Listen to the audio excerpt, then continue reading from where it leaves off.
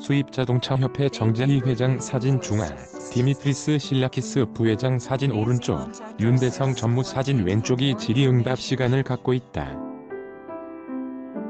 사진 KAIDA 제공한 원 기자 수입차 디젤 판매는 다소 줄어들 것으로 전망된다. 폭스바겐 배출가스 조작 등 일련의 사태가 국내 소비자의 디젤 차량 수요 전망을 어렵게 만들고 있다. 한국 수입 자동차 협회 KAIDA가 설립 20주년을 맞아 25일 서울 중구 반얀트리 호텔에서 개최한 기자 간담회에서 디젤 수입차의 성장세가 한풀 꺾일 것으로 예측했다. 윤대성 수입차 협회 전무는 현재 수입차 시장에서 디젤은 67% 차지하고 있다면서 하지만 최근 디젤 차량 관련 사건 등으로 판매 속도가 완화되는 추세라고 그는 우리나라 전체 자동차 시장에서 디젤 차량의 수요는 늘어날 수 있으나 수입차 내 디젤 판매는 그 성장세가 둔화될 것이라고 내다봤다.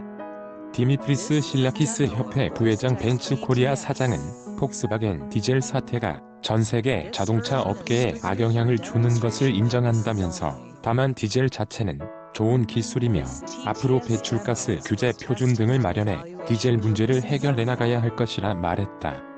수입차 협회는 내년 수입차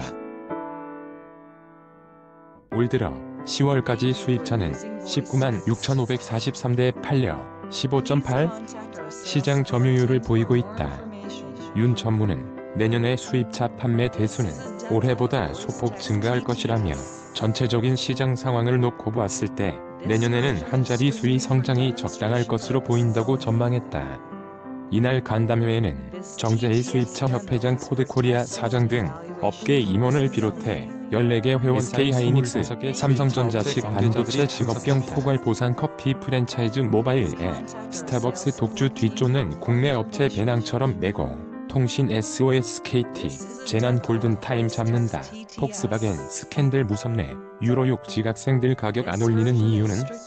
제네시스 EQ900 사전 계약 돌입 현대차 월 판매 목표는?